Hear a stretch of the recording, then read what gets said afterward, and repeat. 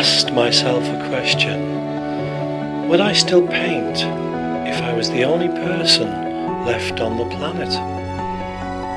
No one but myself would ever see my paintings, so would there still be any point?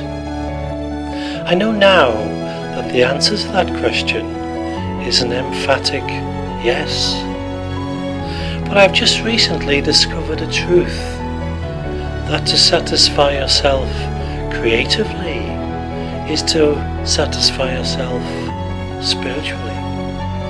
For the artist, creation is food for the soul.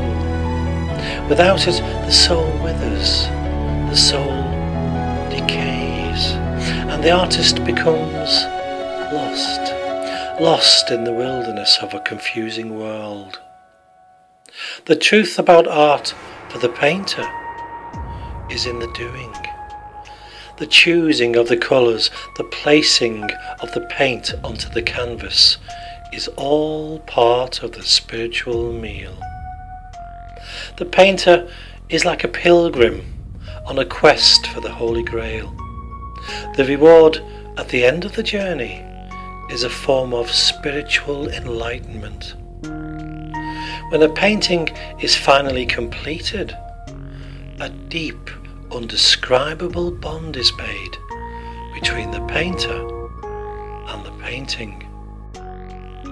For suddenly, the painting exists in its own right. It breathes, it lives.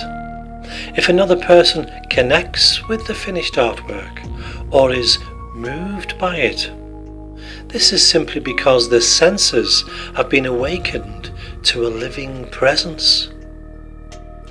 To be part of and bear witness to the birth of a living creation that seemingly has come out of the mist of nothingness is what drives the pilgrim painter and ultimately gives meaning and purpose to their existence.